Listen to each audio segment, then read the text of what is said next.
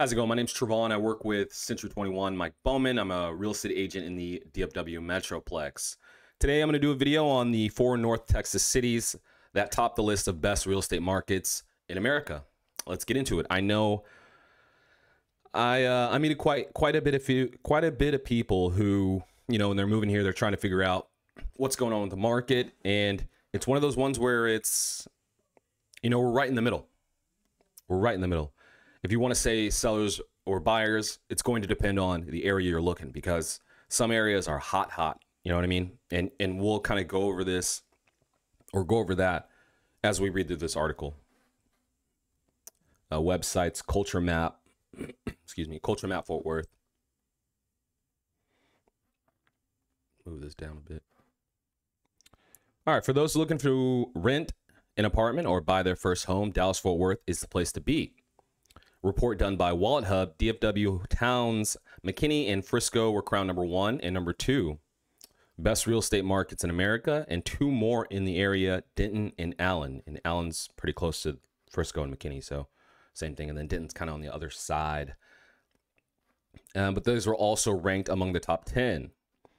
The study took an in depth look at real estate markets in 300 US cities based on 17 metrics, including median home price appreciation, the ratio of rent price to sell price, vac- vacancy rates, housing and maintenance affordability, population and job growth, and more.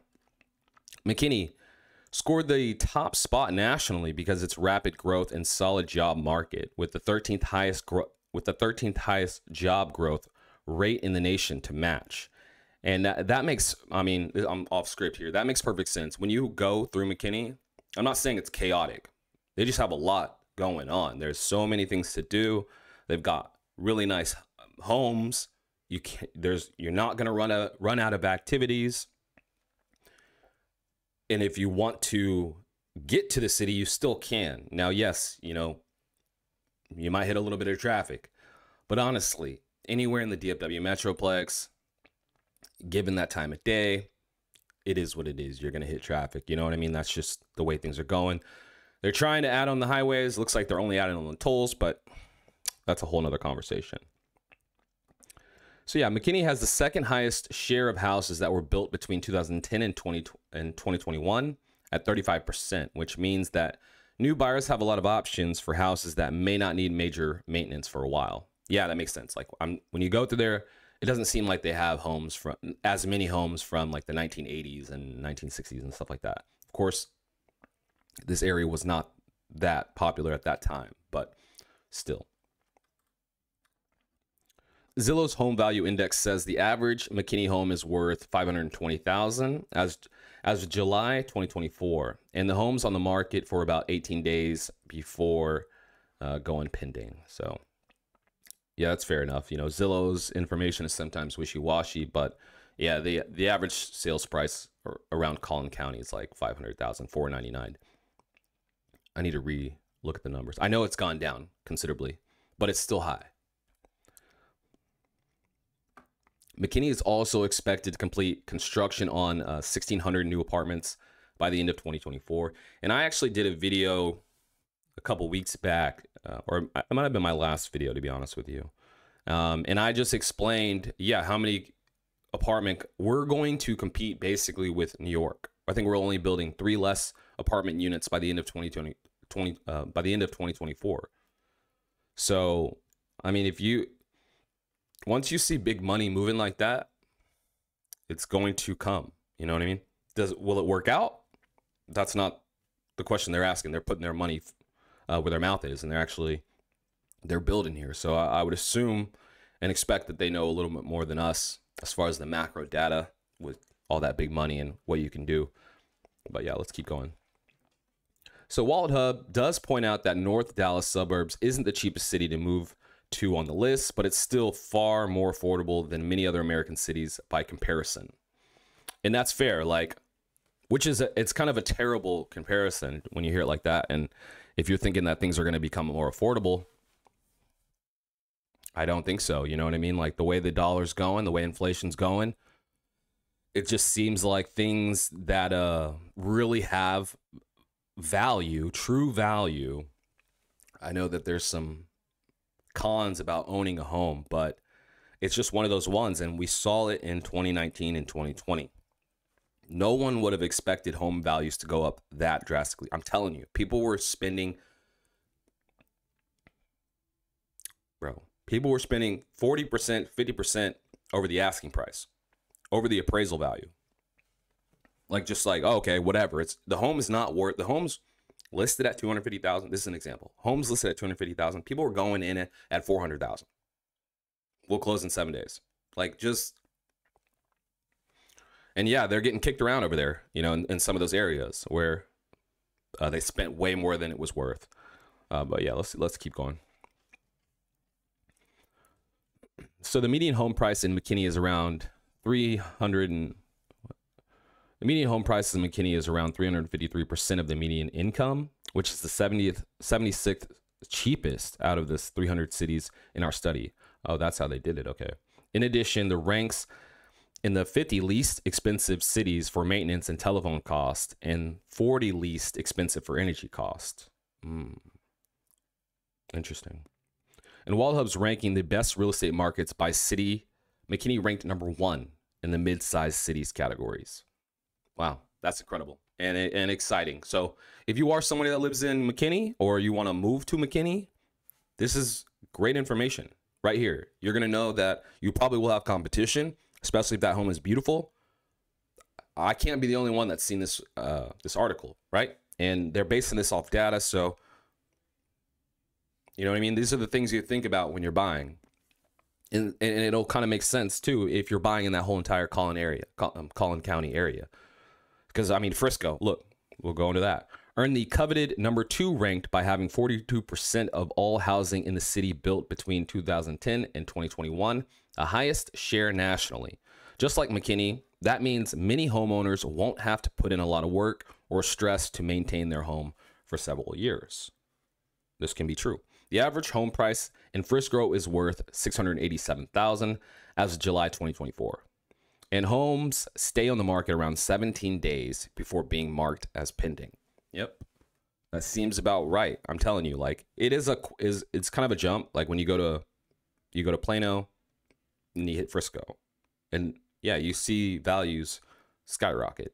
I mean, you're starting to see more million dollar homes in Frisco. Well, do I think that they're worth that much? That's just a whole nother whole nother discussion. There's a lot of value out there. So we shall see in the future, right?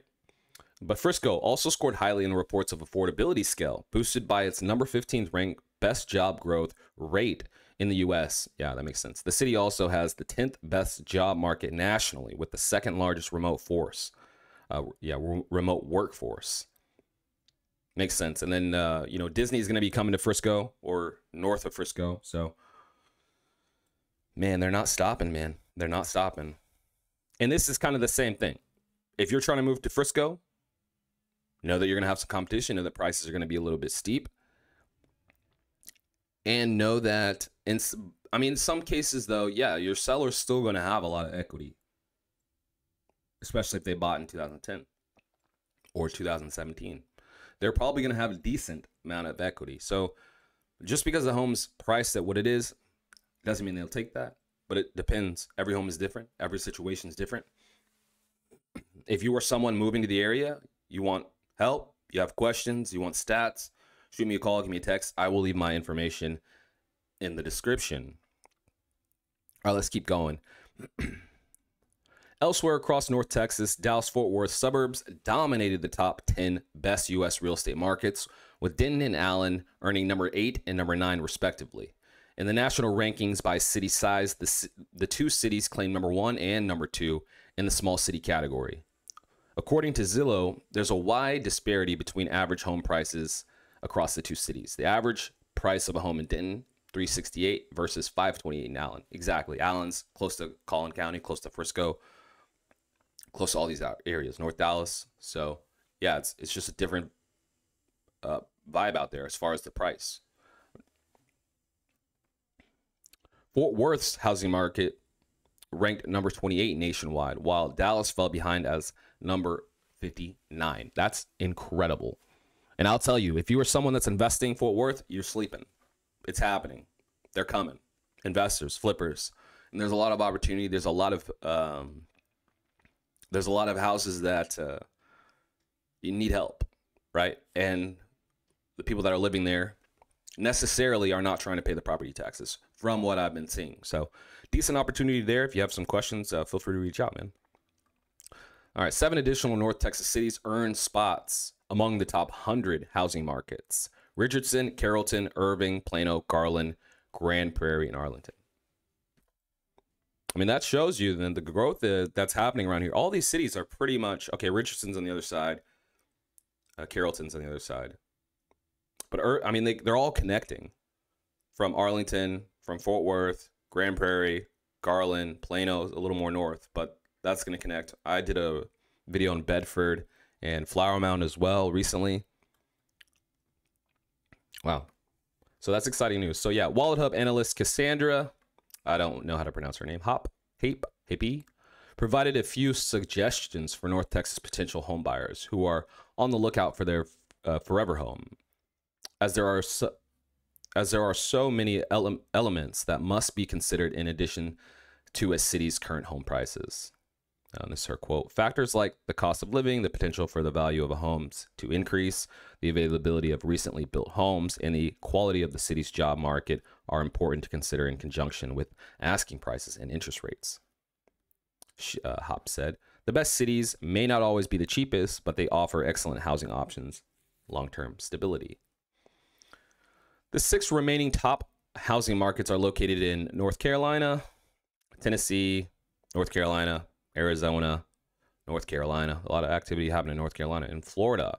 So that is exciting. That is exciting.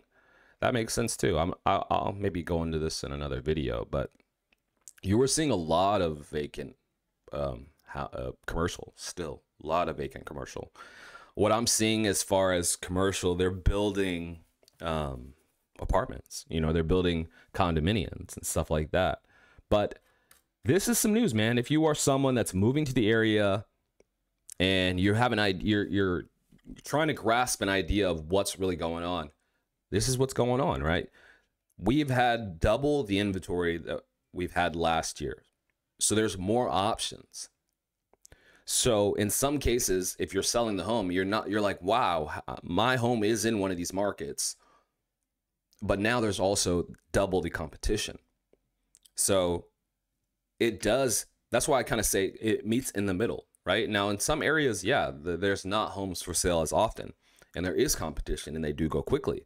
And then in some cases, there are tons of homes, and there's tons of options to choose from. So homes are sitting longer than expected, but I still wouldn't say it's doom and gloom. I would say we're really ripe, perfectly, not perfectly. We're really in a good position because as interest rates trickled uh, downward as they did the last two weeks, I think they're going to continue to go down from what Powell was stating and what the genis, you know, what the general idea is. So I think our market's in a really good position. Now we're we're tinkering in that uh, you know, school starts, market slows down to a degree, right? If you have a family of 3 or 4, are you going to buy a house and move and your kids move another school? If that school's not in the same area. Maybe not. Maybe you'll wait for the year. I feel like that's just that's that's normal, right? I feel like I would do that. So that's kind of the vibe of the market. Eventually, it's going to pick up. You know, once people start moving in November, December, January, um, and that's kind of the flow. But it's going to be an exciting year. If you have any questions regarding real estate at all, feel free to give me a call, shoot me a text. If you made it this far, I really appreciate you watching this. And if you like this type of content, uh, let me know. Drop a like, leave a comment uh, if you have any questions at all.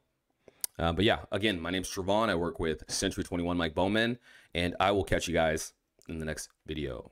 All right, later.